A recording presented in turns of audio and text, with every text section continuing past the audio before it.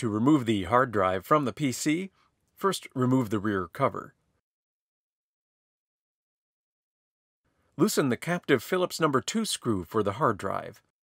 Grasp the handle at the top of the hard drive cage and pull the hard drive cage out to the side, then up and out of the PC.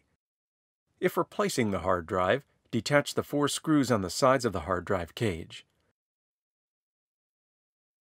Note that the screws are different than screws used for other system components. Slide the drive out of the cage.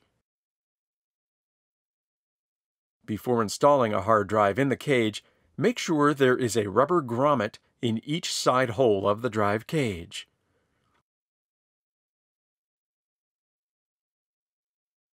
Install a new grommet into any hole missing a grommet.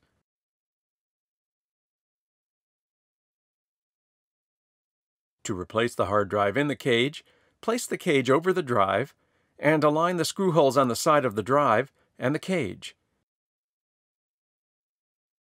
Replace the four Phillips number 2 screws to secure the hard drive to the cage.